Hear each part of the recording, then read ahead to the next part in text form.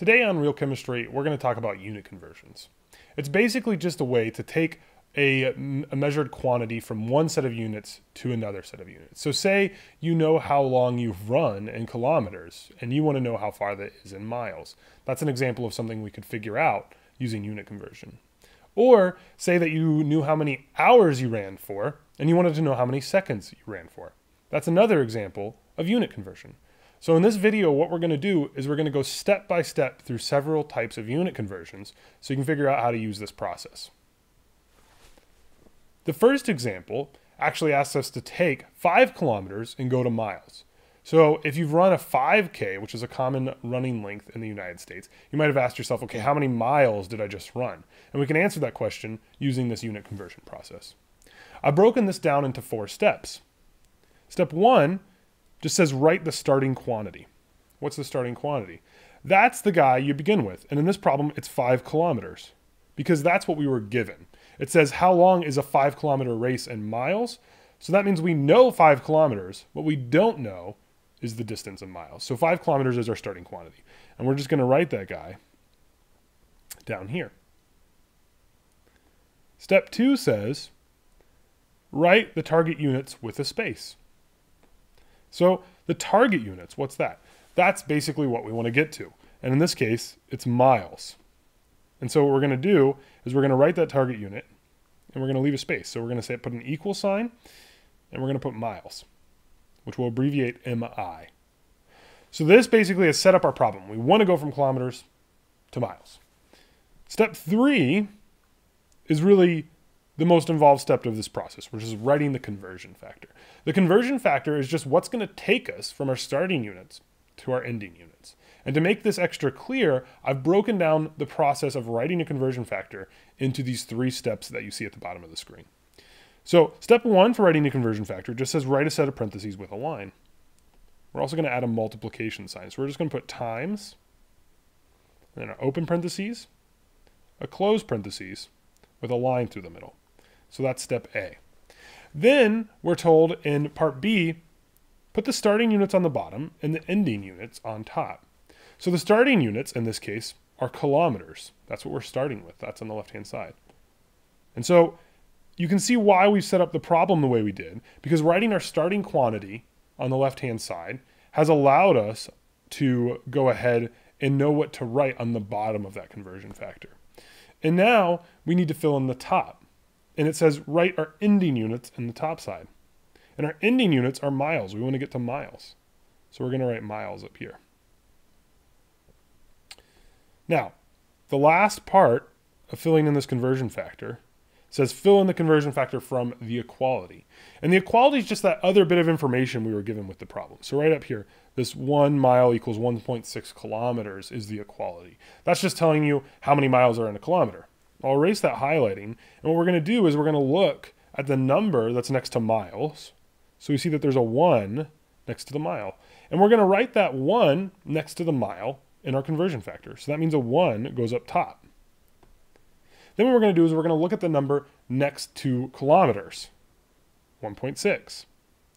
And we're going to write that next to kilometers in our conversion factor. Now, it would be very wrong if we wrote our 1.6 on the top because 1.6 doesn't go with the miles in our equality, it goes with the kilometers. So you have to make sure you write the 1 and the 1.6 with their correct units in the conversion factor. Now we're basically done. The last step is we just multiply through. So we're going to multiply our 5 kilometers by 1 and divide by 1.6. So when we plug that into our calculator, which you should go ahead and do, we get 3 3.1. So it turns out that 3.1 miles is the same as 5 kilometers. So if you ran a 5K, you ran 3.1 miles. It's always important to remember that's what we're doing in a unit conversion. We're just expressing the same amount of stuff or the same distance or the same amount of time with a different unit.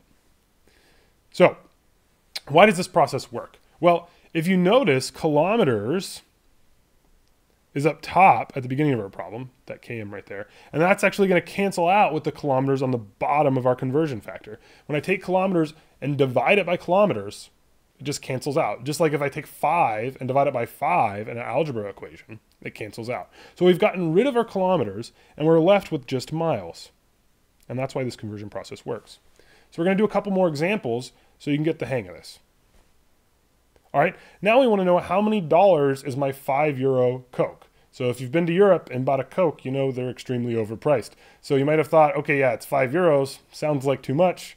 How many dollars is that? That's what we can figure out with this unit conversion process. So again, step one just says write our starting quantity.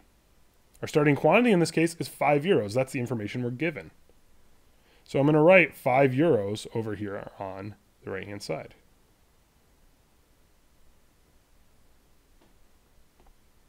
All right. And now I want to write my target units with a space. What are my target units? Well, what I'm trying to get to is dollars. It says how many dollars is my five euro Coke. So what I want to get to is dollars. So I'm going to write dollars on the other side of the screen.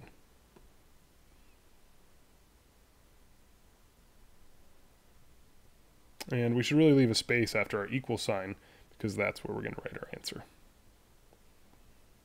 All right. So 5 euros is equal to how many dollars? We basically set up our problem there. Now we're going to go to write the conversion factor. So when we write the conversion factor, the first, first thing we want to do is we want to write those parentheses with that multiplication sign. And we're going to put a line through the middle. Then part B of writing the conversion factor says write our starting units on the bottom. So what we started with is a euro, and that's what we're going to write on the bottom. And then it says write our ending units on top, and we want to get to a dollar, so we're going to write dollars on top. Notice again, I'm not writing any numbers in this part. All I'm doing is writing the units. So now, the last part of writing a conversion factor says fill in that conversion factor from the equality. So what number goes with dollars? Well, I look up at my equality and I see 1.1 next to the dollars. So that means I'm going to write 1.1 next to the dollars in my conversion factor. Similarly, I see a 1 next to the euro. So I'm going to write 1 next to my euros. So now I have 5 euros, and I'm going to multiply that by $1.1 and divide by 1 euro. And that's going to give me $5.5. So your 5 euro Coke cost you $5.5 overpriced. All right, again, our euros notice canceled out. We took euros, we divided by euros. And that leaves us with just dollars. That's the kind of fundamental reason that our unit conversion process works here is we're canceling out that unit. All right. Next example, we want to know how many milliliters are in 12 ounces. So you pick up that 12 ounce Coke that you just paid too much for, you just paid your five and a half dollars for. How many milliliters are in that 12 ounce Coke? So we're going to follow the same steps here. We're going to write our starting quantity. Step one says write our starting quantity, and we're going to write that on the left hand side. And in this case, our starting quantity is those 12 ounces. And we're going to abbreviate ounce OZ. So 12 OZ. So we have 12 ounces, and we're going to, our target units are milliliters. Now the, the units, the abbreviation for milliliters is ml. So I'm going to abbreviate milliliters, ml. And now I'm on to step three, writing the conversion factor. So writing the conversion factor, remember first thing I'm going to do is write the time sign with these parentheses. And then I'm going to fill in that conversion factor with some units. So I know that I'm starting with ounces, so I'm going to write ounces on the bottom. That's going to allow them to cancel out. I know that I'm going to milliliters, so I'm going to write milliliters on top. That's what I'm going to be left with.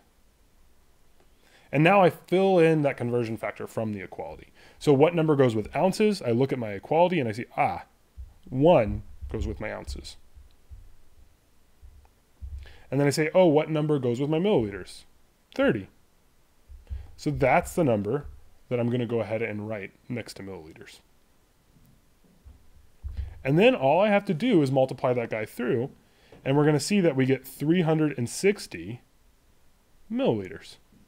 And again, our ounces here cancel out. So 12 ounces is 360 milliliters. That does it for this episode of Real Chemistry. Subscribe to my station to see other YouTube videos or visit my channel to see a full list. Also, please leave any questions or comments below this video and I'll answer them.